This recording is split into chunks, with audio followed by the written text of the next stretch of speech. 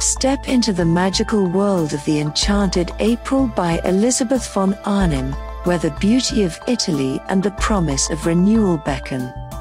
Follow four captivating women as they embark on a soul searching journey to an idyllic Italian villa during a spellbinding April.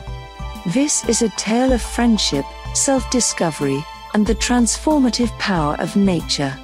Let the velvety narration transport you to a place where the scent of flowers fills the air, and the allure of the Mediterranean becomes a backdrop to their unfolding stories.